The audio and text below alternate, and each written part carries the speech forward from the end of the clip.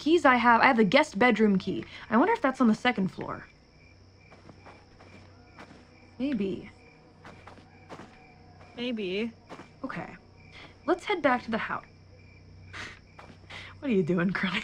Kronii, what are you doing? No, you weren't supposed to see that. Is that where It's you want to put yourself? private- That that is my private time. Is that where you want to be right now? Is that what you're interested in, Kronii? It's it's um kenneling. Uh, I see. Yeah. Okay, okay. I get you.